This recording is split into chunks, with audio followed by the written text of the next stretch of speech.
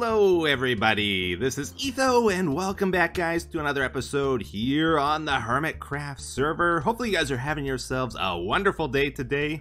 I'm doing pretty good myself, and uh, I've been doing that thing where I've been playing a lot more than I should be, and not recording quite as much as I should be, so I actually got a few projects to show you just to get us started today. We got a little secret tunnel down here in this room now, with some bubble streams to pull us down. We hit the pressure plate and it pushes us down and we fall down this tunnel into another tunnel. Oh my goodness. Tunnelception. That's right. so I've never done anything with Dolphin's Grace before and I wanted to uh, just kind of goof around with it and see if I could make a, a quick tunnel to get to the end portal. So this will take us all the way from our base and it passes underneath Azuma's base. Um, he's okay with it as long as he doesn't find out about it. as usual. Uh, Azuma's okay with pretty much anything I do as long as he doesn't find out about it. Yeah, yeah. Uh, and then uh, this will actually let us travel at about 50 blocks per second. And I was just kind of in a grindy mood to uh, build a long tunnel. And then it gets us all the way to the portal, just like that. So this is a quick way to get to the gaming district, because that's where the, the portal is. But it's also a quick way for us to get to the shopping district from our base now. Oh, and uh, obviously we can get to the end as you just saw as well. so it's a pretty uh, handy little tunnel. So the gaming district is just over here, and we have a way of getting to end portal down here. It's not super safe at the moment. But then our uh, water tunnel just connects right over there. So when we get to the end, if we keep going straight, we go to the end portal, but we can also go up this bubble column if we want to get to the gaming district. Uh-huh, yeah, so this was a cool little project for me to get more acquainted with Dolphin's Grace, because there was a lot of stuff I didn't know about it. Like, I didn't know you could do this. it's kind of fun, kind of goofy. You might recall that for a while in the game, during the 1.16 snapshots, there was a way of combining the Soul Speed enchantment on your boots with the Dolphin's Grace effect, and they would exponentially let you get moving, like, thousands of blocks per second. It was insane. that got fixed, and I wasn't sure what the final outcome of that was. I didn't hear much of it afterwards. I couldn't find anything on the wiki page about it. So I did some testing myself, and it seems it still does combine them together, but it's about a time and a half the speed. So that means you can get going about 75 blocks per second if you combine them together. So we can make our tunnel even faster if we run a strip of that down here as well which uh, we might do it. It seems like the server can handle loading the chunks quick enough, which is what I was mainly worried about. But yeah, this is where the Dolphin's Grace is actually coming from. This was the other thing I, I needed to figure out. so originally, like whenever I tried to do something with dolphins, I'd have a water block and an air block because they need air to breathe. Um, but I kept finding they would always die. They would suffocate. They would they wouldn't come up for air when they needed it. So the trick is you put soul sand and then have a bubble column. And that way the bubble column always gives them air and they're always in water. So you get the Dolphin's Grace speed effect because they need to be in water for you to receive that. And then when we start swimming nearby here, it just gives it to us or as we pass by. And uh, I did actually ask Azuma if I should go around his base or not. And he said I can go through as long as I don't hit any of his stuff. So I left them some instructions at his base here in case he wants to connect up to it and get his own secret tunnel.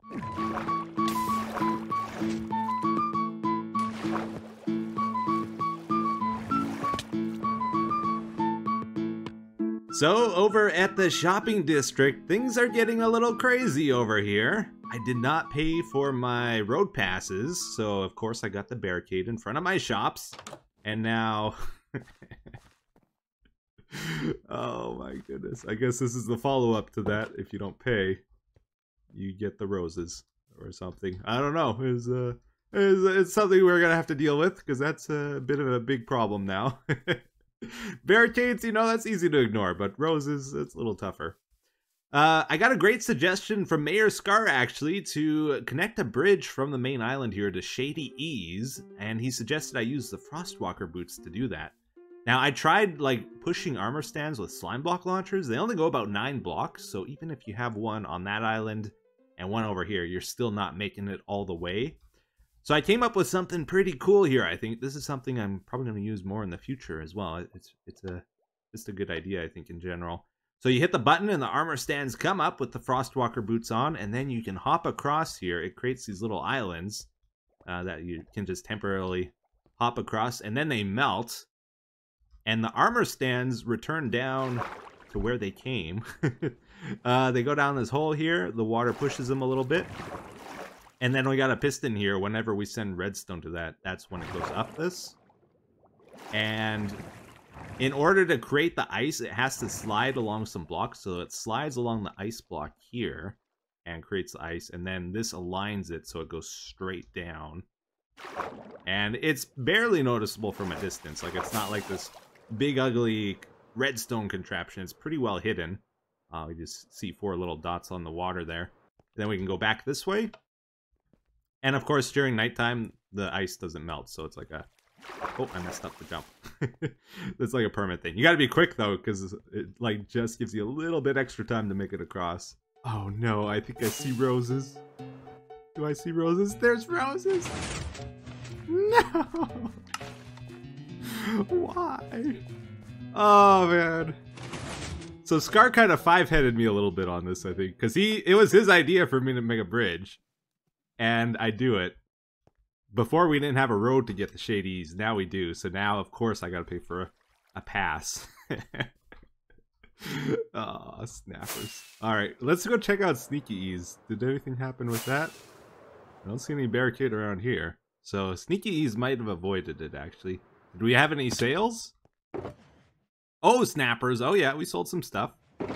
Oh, really? See, I thought these were like two of the most two of the most best things.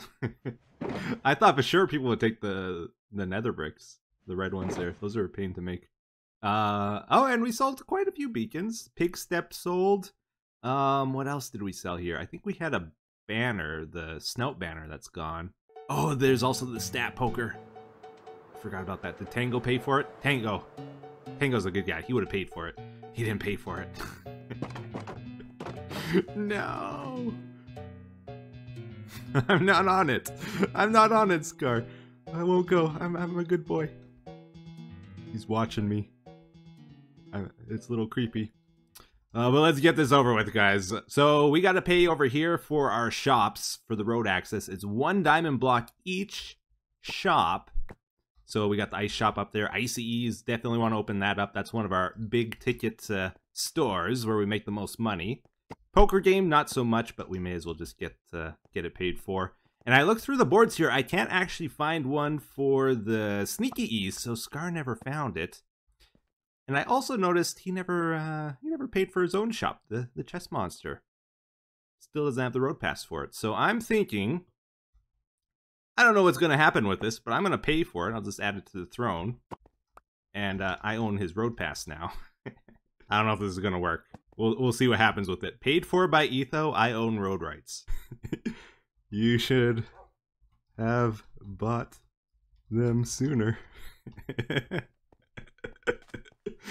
I mean, it doesn't say only certain people can buy them, right? GTWS, I don't even know what that is. Contact Etho for your road pass, five diamond blocks or favor. So there's actually one more funny thing about this, just the way it all worked out. I had a security system here for Mayor Scar, he will not enter Shady Ease because I got the pandas out in the front. He's uh, he's afraid of pandas. So this, there's no way he would have placed the roses in there. Cub Fan's the one that's actually setting up the barricades and the roses and stuff. So that's how he got through the Shady Ease security. Otherwise, we would have been fine, I think. I got a few building projects in mind over at our base, but before we head back, I did want to pay a visit to Grian's Bargain Shop. Best prices in town, except for uh, of course. I can't get in here at all. It's like totally blocked off. Ender pearls, yes. Um, just where is it? It's up over here. Yeah, he's got these special boxes he's selling. Pay 42 diamonds and take a box. So he had four boxes here with good loot inside, and it's like random stuff. It's a it's a Kinder surprise what we're gonna get basically. So I, I guess it's 42. We pay here. it is so hard to see anything with these roses. My goodness. Uh, so we could go for the parrot or the regular Grian. I think we'll go for the regular Grian. Something, something scares me about that one. It's like uh, it's the special one, and the special one's the ripoff. You know. Okay, let's get out of the store. Okay, okay, here we go. No takesy backsies. This is this is the one we're keeping. So let's see what we got here. 42 diamonds and Okay, we got a dragon head. We got some gold. Some food, rockets. Um, man, I was hoping for some netherite stuff, but nope. Looks like uh, we didn't get any of that. Um, not quite what I was hoping for, but it's okay. There's there's quite a bit of stuff in there. Actually, oh, I thought that was iron. Nope. Oh, never mind. Okay, okay. All right, it's not too bad, guys. We're making good use of the box already. We took the cake from there, and we got a display for our food item. Didn't have to craft that myself, which uh, would have taken a lot of time. And we're going to be using the bricks from the box as well to do some more building. So I want to build a wall over here today if we can and get this all covered up. Um, and I think, think what we're going to do is bring this forward. We're going to get rid of all these trapdoors we had here. Oh, that stays though. Yeah. Get rid of the trapdoors. We're going to get the stripped dark oak in front, and then this is going to be like brick all the way up, basically. Yeah, so we're trying to make it look like the water's flowing out of these pipes under this bridge, and it's going this way through a grate, like to catch any debris in the water, that sort of thing. Uh, but just looking at this, I can see already this can probably be a block taller, and this wall's kind of flat. So we want to just make some adjustments to it now. So I want to try get the stairs going to bring this back a block. And then maybe we'll curve it back up this way. And then we're going to just add some block variation with the terracotta. All right, so check it out. Just by adding a little bit more depth to it, it gives it so much more character. I think that looks a lot better now. Um, I don't know what to do above here, but I'm thinking we'll just have like some kind of garden thing. So I'm going to put some dirt across that. We'll plant something on that. Trapdoors just to hide the dirt going along here. And probably slabs or something below here. Or actually, we could go for more trapdoors, even. Might be better. And uh, one thing I also thought about with this, like we're really trying to avoid the gray color. Uh, even though I think the iron bars makes the most logical sense for this, I'm going to switch them out with fences birch fences just so we have a bit more color in the base. Yeah, I don't know. Do you guys like watching the like more detailed building or do you like the montage stuff? I've kind of been mixing it between episodes. I thought we'd do a little bit more explanation this episode, slow it down a bit. All right, let's get this built back up. Ooh, yeah, check that out. I like that a lot, actually. So that adds more variation with the color. And it looks like leaves are getting backed up on the grate, getting stuck, and uh, they kind of turn darker green as they get old and moldy, right? and we got all these leaves in the area. It makes sense, I think. All right, everybody, it's time for color theory with Etho. So if you look at a color wheel, red and green are opposite of each other on the wheel, which means they are complementary colors. They kind of highlight each other by their contrast, which is why we've been using a lot of brick and like plants in our base. Just they, they look good together, basically. So the red brick thing around here kind of helps to frame in the green in the middle and make this stand out more. Uh, but I'm also thinking it will look better if we do a transition material in the back there instead. So we're to go behind here, replace all this brick with honey blocks. So on the color wheel, it kind of goes from red to orange to yellow, then to green. Um, so if we kind of go orangish yellow behind here, like with honey blocks, it might look better. But that's just a theory. A color theory. Uh, I think it kind of takes the edge off of it a little bit, right? I think I like that more. It, it definitely makes it more interesting. Uh, I'm finding this is standing out too much, though. So maybe let's go to spruce. One, one tone down a bit. Yeah, I think that's a good call. I put jungle wood underneath here as well. Probably better with trapdoors, though, to be honest. So let's uh, thin that out a bit more. Uh-oh. Uh, we're actually running a little low on time already this episode. I still got a few more things to show you, so let's get through those. Um, over at the Nether base, we got a new farm, uh, kind of half done at the moment. New zombie pigman farm, so we're going to be able to get gold now, which is awesome. And uh, it goes whoop, all the way up to the bedrock ceiling there. And because we built this below the bedrock ceiling, we actually get really good rates because we slapped our nether, and the lower you build it in the world, your farms, the better your rates are. So, yeah, this is pretty good. Uh-huh, so it's pretty much just the standard zombie pigman farm you've probably seen a million times at this point. You build it out of the magma blocks so that uh, only zombie pigmen spawn on it, and magma cubes could spawn on this as well if they had enough headspace, but they don't. No, no, no, we stopped that from happening. It's built in the nether wastes as well, so we get more uh, zombie pigmen that way. And uh, we do that trick with the turtle eggs, they want to stomp on top of those things, and as long as you have two air spaces above the eggs, they can. And you want to position these two blocks below the layers, and then skip a layer. So if you go down to this one, you can see there's no turtle egg at this one. But if you go down to the next one, then there is, two blocks below where we're standing. Um, so they get attracted to that at all the layers. They fall down these four sides, and because uh, we're using the walls, they have just enough space for two guys to fit between here and they don't get stuck on each other. And I did something kind of special with my layer design here, though. I did a weird thing where we got these four holes um, in the corners.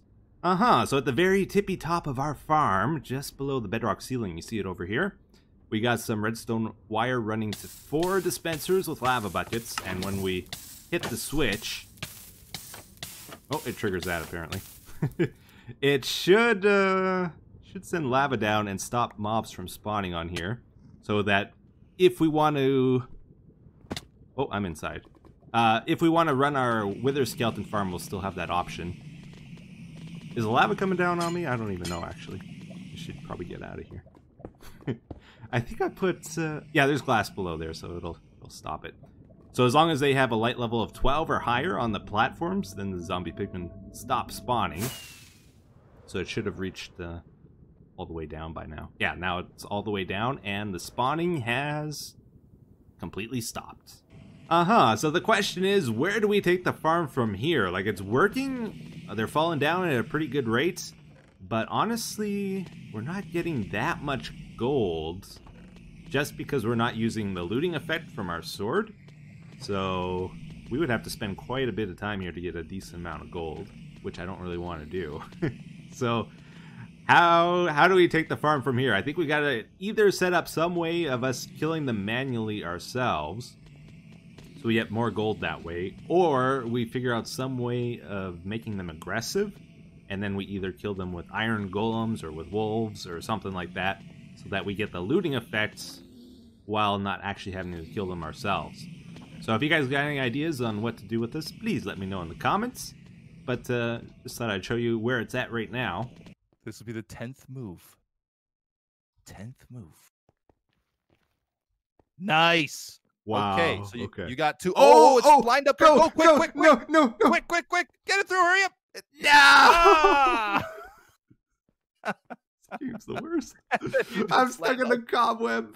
Come on. I can't, Oh my god, that looks hilarious. I can't get out of here. Hit me, please. Do something. Get me out of here.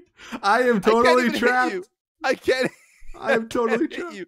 Oh, I knocked you into the cobweb. You Hold move on. even slower if you're on ice in a cobweb, if you didn't know that. Really? Yeah. Well, there you go. Uh huh. Yeah. So the other day, Beef and I we got together and we just kind of goofed around the gaming district here, played mini games for about an hour. it was a whole bunch of fun, uh, but honestly, it's gonna be a pain to edit that down into an episode. So I would say watch it over at Beef's channel. He uploaded pretty much the whole thing. If uh, you're interested in it, I'll link to that in the description. But before you take off, guys, wait a minute. Don't go just yet. We also got the standoff tournament to check out. Remember, I had to face Joe for the, the finale in that, and we're going to end the episode uh, checking that out now. So hope you enjoy it. All right. There, there was a tournament. There were hermits. They got knocked out. There's two left. It's the standoff final. We got Efo. Howdy, sir. Hello, hello. And we got Joe of the Hills. Woo, howdy. I have Yeah, pressure. you know, I heard that uh Etho was gonna be showing up in one of those Naruto skins, so I commissioned this Orochimaru. I don't really know much about Naruto, but apparently his like neck turns into like a snake or something. So I thought that might, you know, help Etho feel at home. Oh, that's right. It why, does. Why, why do you look like the Hamburglar, though? I didn't necessarily give clear instructions. oh, okay. I see. Mhm. Oh, you're making so many mistakes already, Joe. E-dubs, we need you. I'm on it. So loading up the one side, interesting. Please. And you ready for this impulse? Look at this. He's not gonna expect that one. Oh. Oh. One that's not quite the same as the others. Oh, not very threatening, Joe. I don't know. Mm-mm. You know, it's important not to look threatening. It's important to accomplish. Interesting. I'm gonna use a switch spots on you. Oof, busting out the power already. Oh. Wow. Didn't see it coming. No, that's an early surprise. This is tricky, man. There he goes. All right, we switch the spots. I gotta go again, and then I'm going to knock back to you and not miss. That's the that's the key, Joe. That I oh, I used the wrong sword. No. that was yeah. Oh, At least it, you didn't miss. You, I mean, you hit the armor stand. Oh no. Okay, so of the two here, Oh no, he's a sitting duck. Oh. oh, that was Oh. that was a backfire. All right. Nailed it. good. It's Nailed good. it. I'm slain. Or is he thinking about the long gotta shot? go for it, he Joe. is. Oh. You're gonna try and shoot through through it and hit your one. I'm gonna hit mine, but yours might come with mine with the splash. Oh, he's done it. Oh, what a shot! I'm not thrilled, but you know what? Let's see. Oh, Can I turn this Did he around? do it? He did not do oh. it. It was a good oh attempt, Oh though. my goodness. Precision Going for the shot. power up. He's going for Precision the power shot up. comeback. Oh, Oh, perfect. baby. Ouch. Oh no. Oh. Three to five. Xisuma, have you seen a comeback of a three to I- five yet? oh, he gets it. Oof. I, I believe in one of my games with Keralis, I was behind at one point and then pulled back in front. It can It done. has happened. Okay. I'm gonna retreat. Somebody, this guy over here. Get him over here. Oh, and you still get to go after that, right? Yeah, yeah. He's got. Oh. Slain. Okay. Hmm. And then there were two. Oh, Yep. Joe. Oh, Joe. Hmm. Brains over brawn. Joe is saving his power ups for Uh, yeah, you know, it's for something. he, he- he beat me without using a single one, Etho. Oh, did he? So- Maybe he's trying to keep that going then. yeah, you know, I think I'm gonna. So take their turn. I use one of Etho's, and then I u- move one of mine. Yeah. That's great. correct. I'm gonna go ahead and slam this guy forward. Ooh. Interesting. Okay. And then Oh no! Oh, it overshot. no! this is this is bad. Oh, this is good. This is good, Joe. Oh, Oh, he's got Just a little Oh, tap, oh, tap, oh, tap, I taparoo. think Oh, that they're counts. touching. Yep. That's overlap. touching. Yeah, you got me. I could try double move. Double move is it? That- Yeah, that sounds good. That's the only shot I've got at this point. Um, kind of looking at both of these, not loving either. Ooh. Nice shot. There's one, Little tap. I think you got tap. that. and just just that tap. Little tap. There you go. Oh, Okay, right on. Look how okay. perfect that was. Back in the game. The hamburgler strikes Told you that guy looks strong. Knockback two. Super sprint. My favorite move. Oh boy. Wow. Slay. Oh, Well, and Victory. that's it. GG, Joe. Checkmate. GG, Etho, good game. Good Wow. game, my friend. Congratulations. As your prize, Etho, you get to keep one of the armor stands. Oh, We're not yes. What? yes. what? I am so jealous. Had I known that was the prize, I would have tried Look way at this, harder Joe. It's, against it's mine. It's mine. Oh, I think of all the clothes I could could. hang on this thing. It's perfect.